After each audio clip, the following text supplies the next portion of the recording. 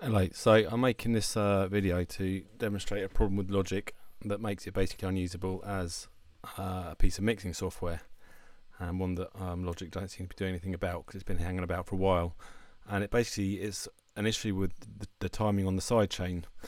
Often use a sidechain to trigger a, another process as an opposite cha- another channel um, so you can like in this case I'm using a snare to trigger something called multiplicity which is here and and that's the bass. I bypassed that because it just doesn't work for the reason I'm about to play, and that's on, the pads. And what the idea was I could use the um, the snare to duck a bunch of frequencies in the middle and expand the same frequencies in the side.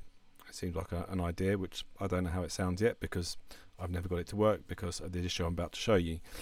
So uh, this has got an input from the snare, which is just just a snare. It's not a bus. It's even worse if you use a bus, by the way. And so what happens is if I press this, press play now, what you'll see and hear is that the snare and the effect are completely out of time.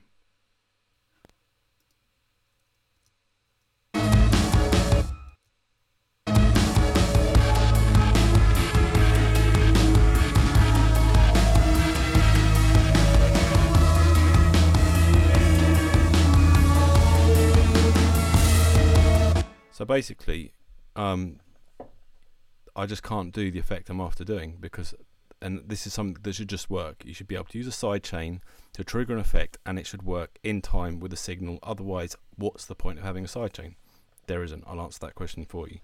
So, I just want to try one thing just before I go any further. Let's just go to, let's see, because I've, I've grouped a bunch of snares to one bus. Let's have a listen to that. Let's see what happens now. I suspect it'll be even worse.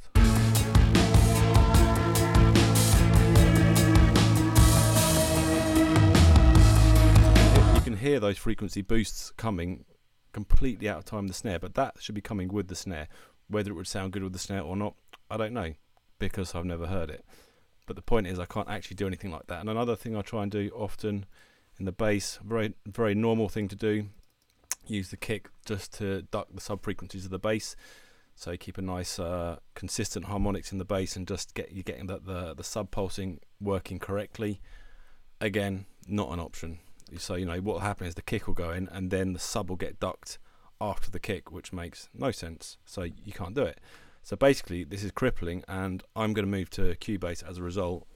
Um, and I, I basically think everyone should do the same and should ask for their money back because this is this is unworkable and it's it's crap. And just so we know for sure, if you go to preferences audio, just so you know, I've got uh, plug-in gain compensation. Where is it? I think it's on general. Uh, da, da, da, compensation all yeah. So plug-in latency all that's on. Um, uh, it's not that. It's basically a problem. So uh, please do something about it, Logic. Uh, or you know, I, I, I hope you do a lot of customers and people should just say that this software is essentially a joke now because you know you can't do the most fundamental, essential mixing process.